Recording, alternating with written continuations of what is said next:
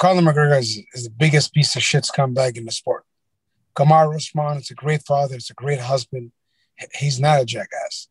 You know, if you have problem with him, fight the man, right?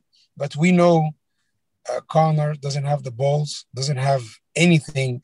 He's not enough of a man to fight like, to fight anything like Kamaru. Like he's he's not enough of a man to even look him in his face, right?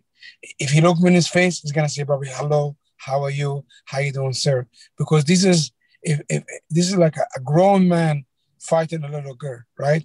And the internet create a lot of heroes. Everybody can talk shit, but realistically, if you put these two guys in a cage, in a street fight, in the trunk of the car, in a jail cell, you know who's gonna be whose daddy. Kamaru Usman will be Conor's daddy every day of the week.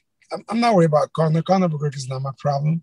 He's eh, for me, he he is a star. You know, I'm not gonna take this away from him, but he's irrelevant uh, irrelevant as a competitor in his prime, right? He's not in his prime anymore, right? He's just a guy who generates a lot of hype and a lot of money for the UFC, and I respect that. You know, when we talk about Masvidal, he he bring a challenge, right? You know, he's a bigger guy. He's you know he's he have a lot of experience, but it doesn't really matter. Like it doesn't matter at this point. You can just his faces. You're gonna put any of these guys against Kamaru. Kamaru's gonna smash their face. Anybody, this guy's Kamaru smash their face. And and I'm hearing people saying Kamaru's a coward. How you can call this man a coward? The man did everything on his own since he's a fuck, he's a child, right? He, you see his story about his father, about his mother. The man worked really hard to become a, uh, you know, NCAA champion. He become a UFC champion. Become TUF champion. He's one of the hardest working men I know. And I'm gonna tell you something. All the street talk, you know, we know how every time the street talk will end. You know, um, but right now we try to be professionals.